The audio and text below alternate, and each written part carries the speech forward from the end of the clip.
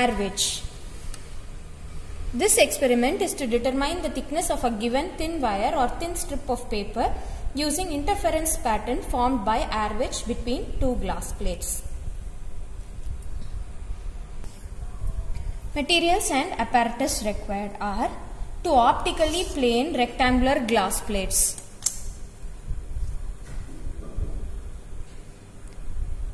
A travelling microscope, a sodium vapor lamp, 45 degree inclined glass plates, thin wire or thin strip of paper. A very thin wedge shaped air film can be formed by placing a thin piece of paper between two glass plates L1 and L2 at one end B with the glass plates in contact at the other end A as shown here.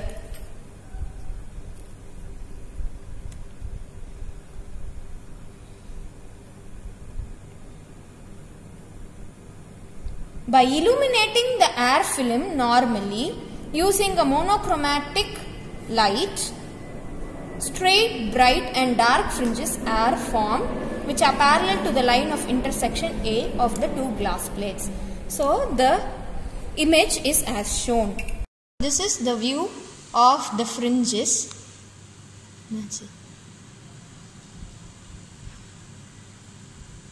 So this is the view of the fringes as observed in the eyepiece of your travelling microscope. If the eye is in a position to see the reflected image of the lamp, the image will not be continuous but will be made up of dark and bright fringes. This is due to the interference between the light waves reflected from the glass plate on top and bottom surfaces of the air wedge. These rays have travelled different distances and meet at the eye in phase or out of phase depending upon the thickness of the air film.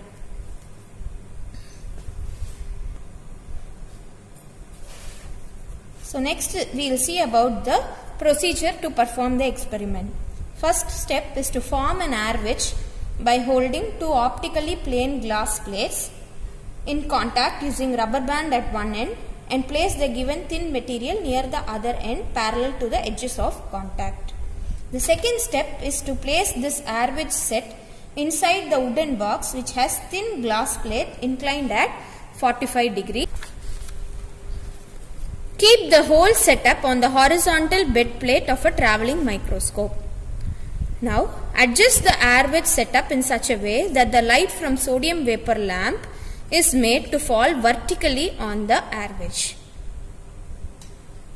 The thickness of the wedge shaped air film increases as the distance from the edge of contact of the glass plate increases.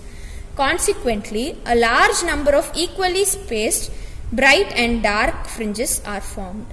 These fringes are parallel to the edge of contact.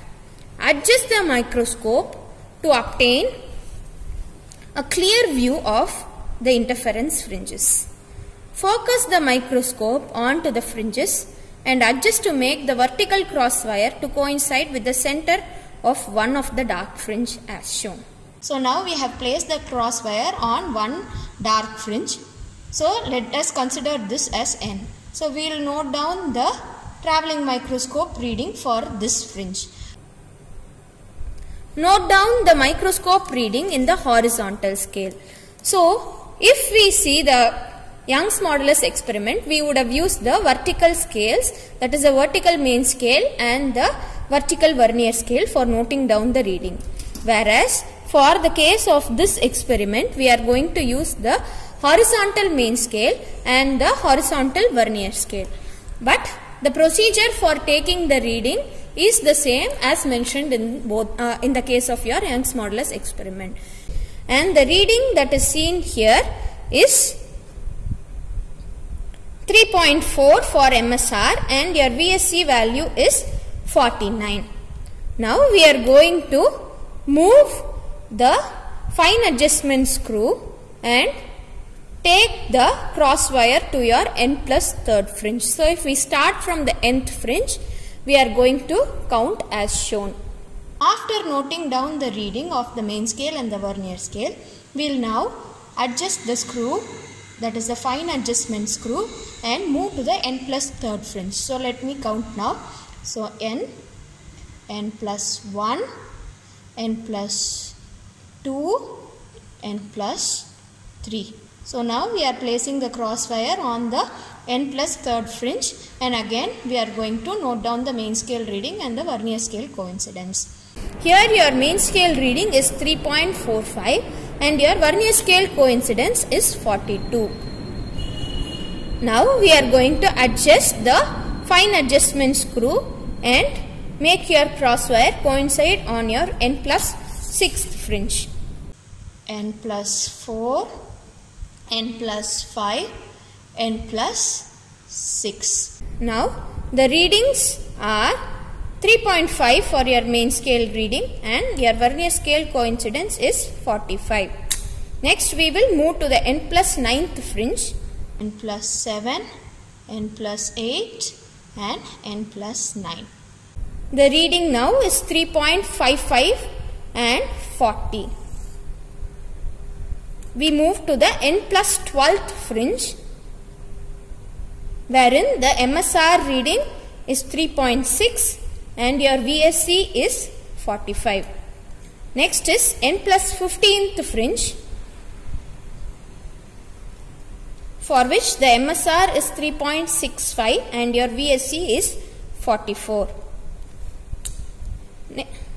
Like this we are going to continue up till your n plus 33rd fringe and note down your MSR and VSC. This is the tabular column to determine the mean width of one band. So we have placed the crosswire on the nth fringe and we have noted down the MSR and VSC readings. So for the nth fringe MSR is 3.4 centimeters and VSC is 49 divisions. Likewise, for the n plus third fringe, the MSR value is 3.45 and VSC is 42 divisions. For n plus sixth fringe, the MSR is 3.5 and VSC is 45 divisions. n plus ninth fringe, the MSR is 3.55 centimeters and VSC is 40 divisions. For the n plus 12th fringe, MSR is 3.6 and VSC is 45 divisions. For the n plus 15th fringe, MSR is 3.65 and VSC is 44 divisions. For the n plus 18th fringe, MSR is 3.7 centimeters and VSC is 41 divisions. For the n plus 21st fringe, MSR is 3.75 centimeters and VSC is 40 divisions. For the n plus 24th fringe, MSR is 3.8 centimeters and the VSC is 39 divisions. For the n plus 27th fringe, MSR is 3.85 centimeters and VSC is 35 divisions.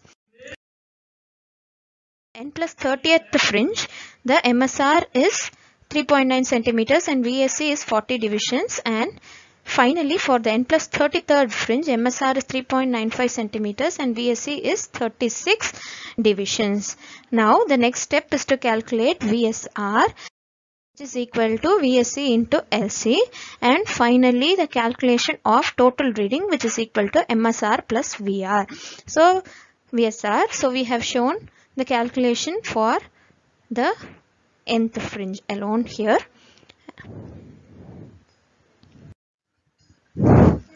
So the calculation is repeated for all the fringes and then the width of 18 bands is calculated by performing a subtraction of the reading obtained for n plus 18 and the nth fringe. Likewise, we are going to subtract the readings obtained for n plus 21 and n plus 3 in order to obtain the width of 18 bands. So once we obtain the width of 18 bands, we are going to average these values and divide the averaged value by 18 in order to obtain the mean width of one band.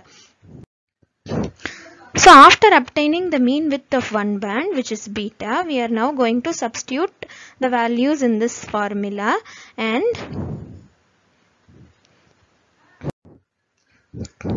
arrive at the thickness of the given thin paper or wire. So the thickness of the given thin paper in this case is observed to be 74.34 micrometers.